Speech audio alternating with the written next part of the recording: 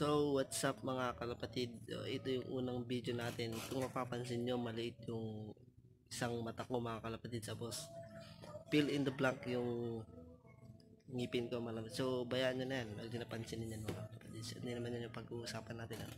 So, ito yung unang video natin. So, kanina, nagbigay ako ng greet sa mga kalapati ng mga kalapatid. So, ipapakita ko mamaya yun sa inyo. So, um, papaliwanag ko muna sa inyo kung bakit nga ba ako pumasok sa pigeon industry.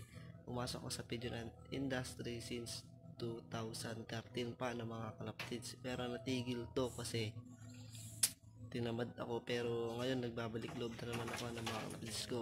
Ano, tama nga yung sinabi na kung ano yung nasimulan mo kahit matigil man ito eh may ituloy may ituloy mo lang ulit ito mga kalapatids ano So, pasensya na kayo mga kalapatids na puto lang at nagloko yung CP natin mga kalapatids. So, ipapakita ko na sa inyo yung kalapati natin mga kalapatids. Nagbigay tayo ng grits at gustong gusto ng mga.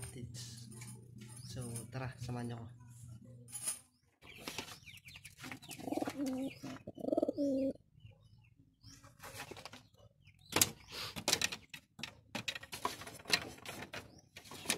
So ayan nga mga kalapatids ano, katatapos lang nila banatan yung grits natin ano.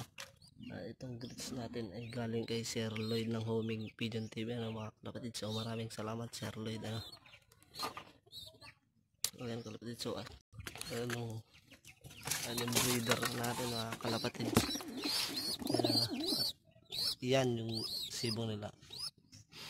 Pero itong isa mga kalapatids papakita ko sa inyo at napilay mga kalapatids namamaga yung isang paa mga kalapatids ano. So ayan kung nakikita namamaga yung isa ng mga kalapatids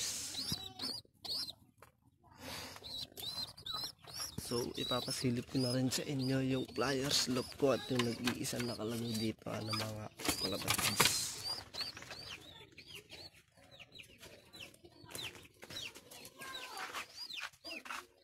So, ayan, pag-gift bird sa atin yung Sir Jerry ng Jersey Loop mga kalapatids, ano.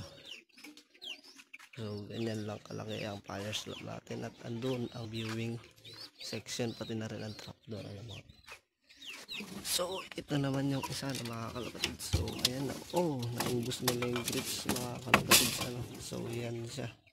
Ay, naman yung ano. So, hanggang dyan na lang ano mga kalapatids maraming salamat sa mga panonood.